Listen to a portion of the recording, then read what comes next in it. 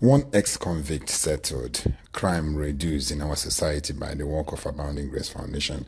First of all, I want to say thank you, thank you, thank you, all my partners who relentlessly supporting this work. Without you, we wouldn't go this far. And all the glory to our Father in heaven who strengthens me, even in this dispensation where Nigeria is really hot. Oh, it's so difficult to even buy fuel to go out for mission. So difficult to even put fuel and have a generator and lit up your home. I don't know what to say. Nigeria is good in Jesus' name. So I want to thank you all for supporting us. This is uh, Awu Dure, the guy that came for interview last Saturday here.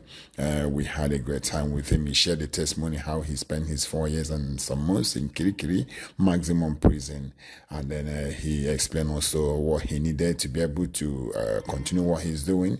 He is a very good fashion designer. He knows how to sew clothes very well. So we have to start with buying this machine for him, and we have gotten the money, give him the money, and he bought the machine and he's shown us the picture of the machine. We appreciate you all, our partners, and all the glory to our Father in heaven. Thank you, thank you. One ex-convict is settled, and the society is calmer. The purpose of all this is to mitigate crime in our society, cause our youth to start doing something with their hands. You know, that's the purpose of Abounding Grace Foundation. But the main reason also is just to turn them away from criminality and point them to Jesus. May God bless you as you keep supporting Abounding Grace Foundation. God bless you. Have a very wonderful month. Evangelist Christian Chukwuka. I appreciate everyone who contributed to this through the help of Abounding Grace Foundation.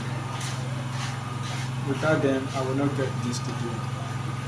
After the visitation to Lagos for the interview on Saturday, today is Wednesday. I got this from the SMS from Globorum. of our daddy, Abundant Grace Foundation. May God bless you and be